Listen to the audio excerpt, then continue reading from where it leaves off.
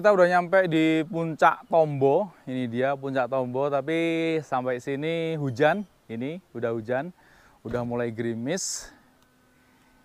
Jadi seperti ini teman-teman puncak Tombo. Nah, ini ada tulisan puncak Tombo besar ini hujan ini. Gerimis ini. Ini perkebunan tehnya. Dan eh, informasi camping ground di sini bisa teman-teman. Jadi misalnya teman-teman bawa mobil mau camping di sini pun boleh. Jadi mau camping outdoor bisa, indoor pun bisa. Jadi misal menggunakan gedung ini ada gedung ini, terus ada itu di sebelah sana juga ada gedung itu bekas eh, balai kesehatan tapi udah nggak dipakai. Di sini banyak gedung-gedung yang udah nggak terpakai teman-teman. Itu di sana itu bekas pabrik kopi ini belum bisa nerbangin drone teman-teman, langsung hujan sampai sini. Udaranya nggak begitu dingin sih, udaranya cukup seger tapi nggak begitu dingin, nggak kayak di Dieng atau di uh, Wonosobo gitu ya. Sini ada ini pondok seperti ini, yuk coba kita lihat.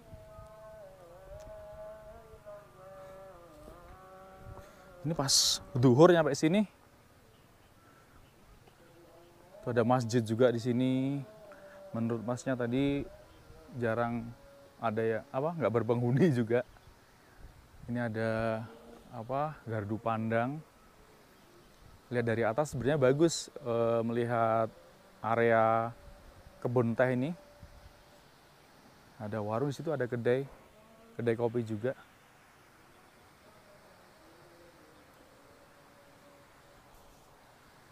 Di sini ada kolam ada aliran sungai buat nyantai-nyantai ini kalau camping di sini enak ini. Ada lampu-lampunya.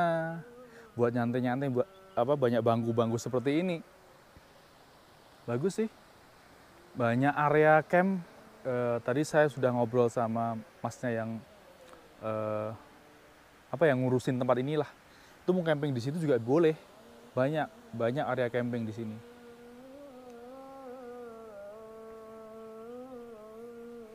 Terus di bawah sini juga sedang disiapkan itu uh, untuk camping ground juga teman-teman.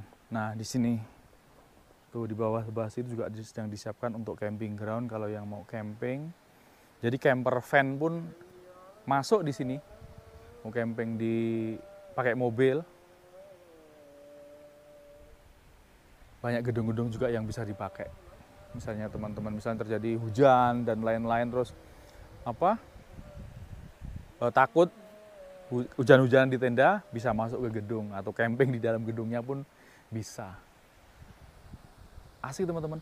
Terus iya, dulu e, sebenarnya camping groundnya itu berada di puncak sana teman-teman. Nah itu dia di puncak sana sebenarnya dulu sering banyak yang camping di sana. Cuman sekarang sudah jarang banget karena apa? Akses menuju ke puncak sana jalannya rusak. Jadi sebenarnya jalan berbatu tapi sudah rusak parah. Jadi e, sulit dilewati. Kata masnya tadi, jadi campingnya banyak yang di sini. Setiap hari Minggu selalu ada yang camping katanya di sini. Untuk camping eh, biayanya per orang 10.000 ya kalau outdoor ya. Kalau outdoor biaya per orang 10.000. Kalau teman-teman ingin menggunakan gedung, ini di sini juga ada fasilitas lengkapnya, bisa difasilitasi. Jadi komplit pakai gedung, ada sound system, ada dapur dan lain-lain perlengkapan itu 500 500 ribu untuk sewa gedung sudah lengkap. Tapi kalau e, sewa gedung saja satu gedung itu 300 ribu bila kita membawa peralatan sendiri. Nah itu dia teman-teman. Ini puncak Tombo. Bagi teman-teman yang pengen ke sini menikmati udara segar, suasana kebun teh datang ke sini. Oke, nanti coba aku tunggu uh, sampai mudah-mudahan cepat reda biar bisa ambil gambar pakai drone, bisa berkeliling dari atas uh, melihat view area sini.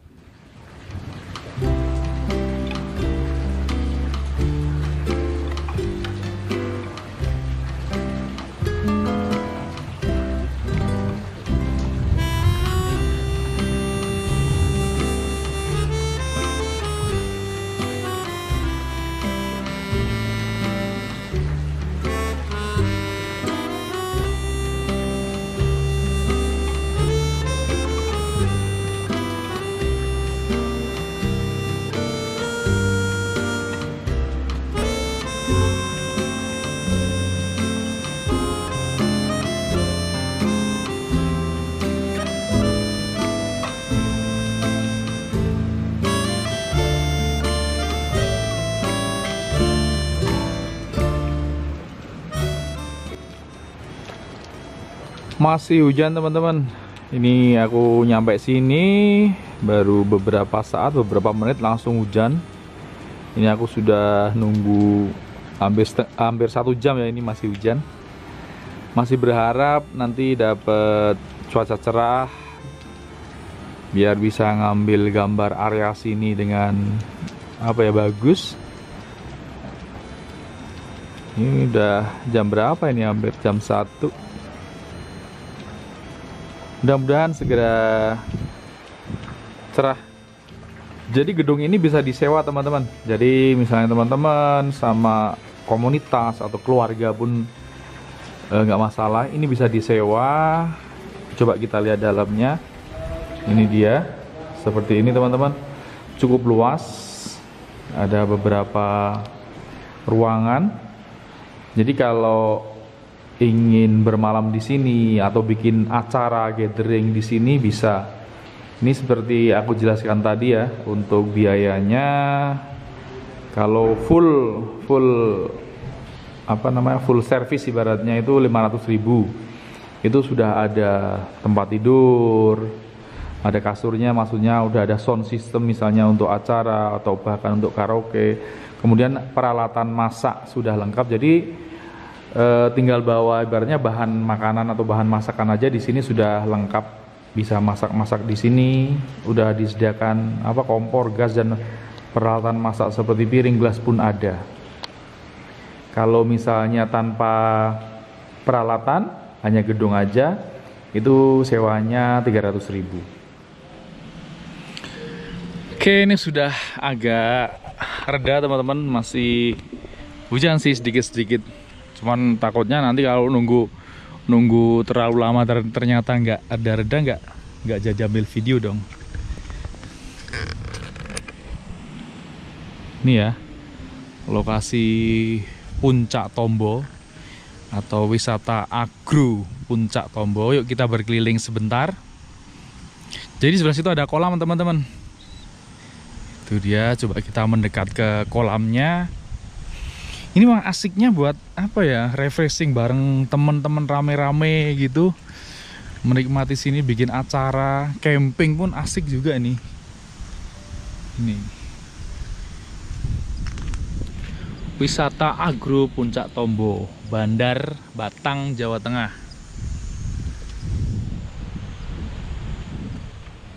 Nah di taman ini ini ada tulisan bank in head park Taman Bangku.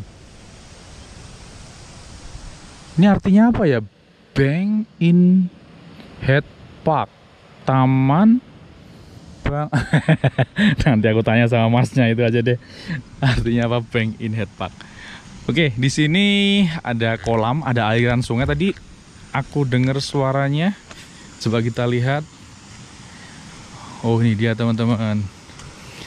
Jadi sebenarnya kolam ini sebenarnya dulu bagus. Airnya bersih dan ya bisa buat main-main air gitu teman-teman. Cuman semenjak apa? Uh, Covid, semenjak Covid ini ini jadi agak terbengkalai karena eh, teman-teman tahu sendiri sejak Covid uh, semua tempat wisata kan ditutup ya, nggak boleh ada pengunjung atau berwisata. Jadi ini jadi terbang kali sini.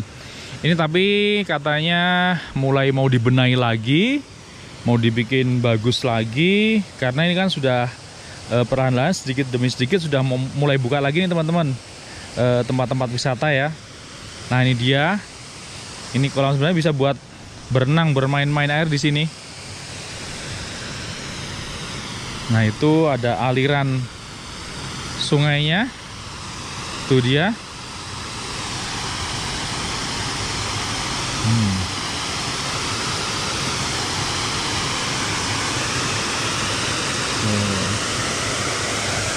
Dan sungai. Jadi lumayan sih tempatnya buat nyantai-nyantai.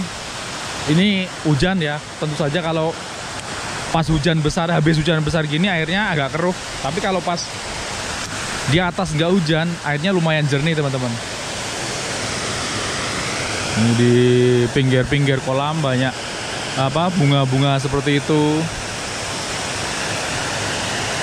di sini banyak bangunan-bangunan yang kosong. Bangunan-bangunan yang nggak terpakai. Ini milik PTPN 9 ya. Ups.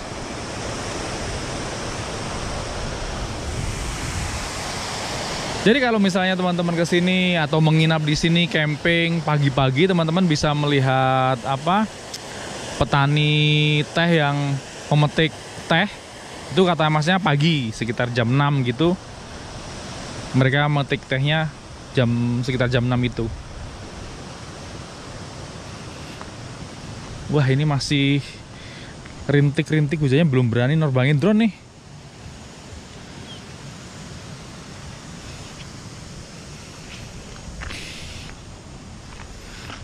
Di sini tentu saja suasananya tenang banget teman-teman. Nggak banyak polusi nggak ada lah polusi suara. Udaranya juga seger banget polusi udara juga minim banget ini kebun teh di sebelah sana itu kelihatan apa hutan pinus ya jadi teman-teman kalau mau berjalan-jalan ke kebun teh lewat situ, jalan ke sana, ke atas itu kebun tehnya.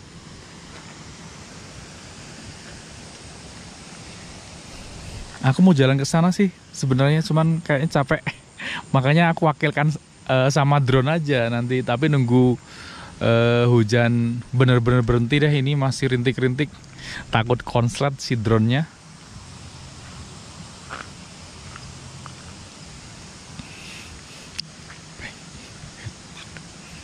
Bank in Head Park. Jadi ternyata aku sudah tahu sekarang arti dari Bank in Head Park ini. Ini dari bahasa Belanda ternyata artinya taman bangku. Bukan tak kirain bank itu bank ya. Ya bank itu mungkin bangku ya bahasa Belandanya. Jadi taman bangku teman-teman. Itu dia. Bank in Head Park bahasa Inggris apa tuh nggak ketemu.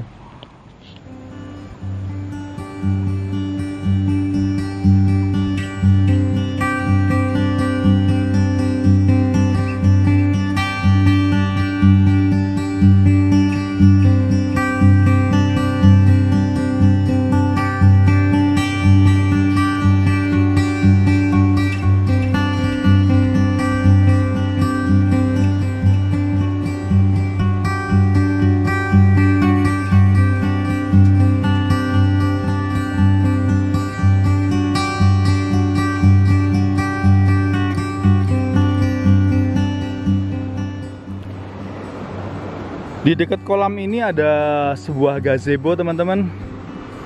Ini dia. Ini juga bisa buat nyantai-nyantai sambil mendengarkan gemercik atau gemuruh ya. Karena cukup deras ini. Gemuruh aliran sungainya.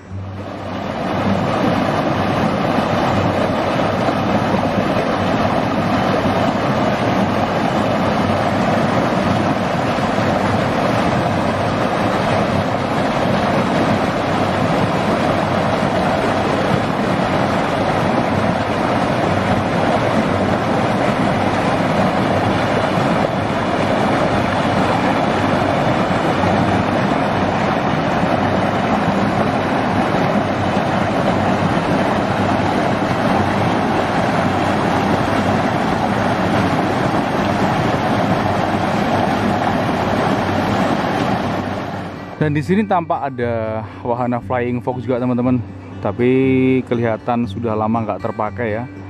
Jadi eh, tempat flying foxnya juga untuk naik dan turunnya itu sudah tampak lapuk. Ini menurut Mas Wisnu ini sudah mulai mau dibenahi lagi karena sudah mau dibuka lagi untuk wisatanya setelah sekian lama gara-gara pandemi eh, ditutup ya coba kita jalan lagi ke sini. Agak ke bawah sini ada halaman ini. Waduh hujan lagi. Gak deras lagi nih. Tuh mau camping di sini juga boleh. Luas kan banyak di sini lokasi camping teman-teman. Nih coba kita ke sini. Di sini banyak eh, tempat-tempat asik sih sebenarnya untuk nyantai-nyantai ini di tepi aliran sungai banyak bunga-bunga. Wah deras lagi hujannya. Nih di jembatan sini kita melihat aliran air itu.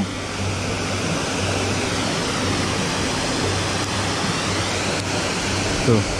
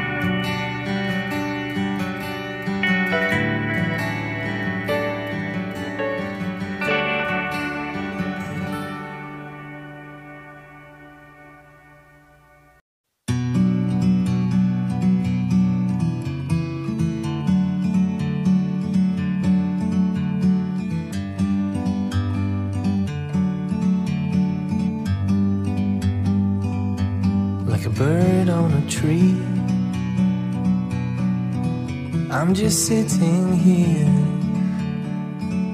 I got time, it's clear to see. From up here,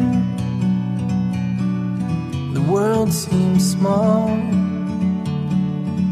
We can sit together. It's so beautiful, you and me. Meant to be in the great outdoors, forever free.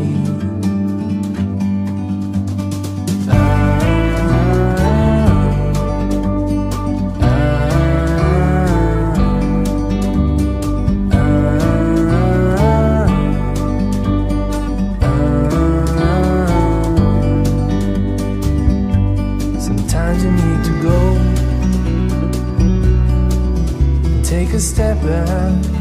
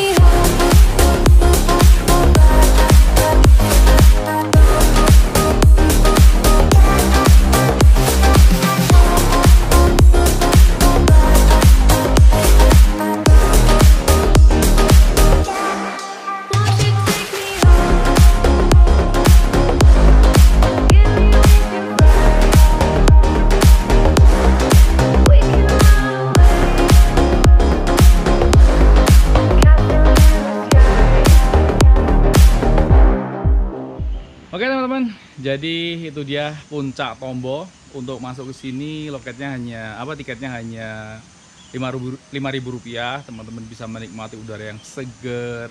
Pokoknya apa ya nyaman banget, nyaman banget di sini udaranya seger, suasananya apa ya hening. Udaranya itu bersih banget teman-teman. Oke. Eh, untuk keterangan lebih lengkap nanti bisa hubungi nomor di deskripsi ya. Eh, hubungi Mas Wisnu. Misalnya teman-teman mau booking untuk ngecamp di sini atau tanya apa pun seputar eh, puncak Tombo ini bisa hubungi Mas Wisnu nomornya ada di deskripsi. Oke sampai sini dulu video kali ini. Terima kasih yang sudah menonton sampai selesai. Jangan lupa untuk like share komen dan subscribe. Sampai ketemu di video saya berikutnya. Wassalamualaikum warahmatullahi wabarakatuh. Dadah. Wih, manasin si biru nih. Si biru nih lama nih nggak nggak dipanasin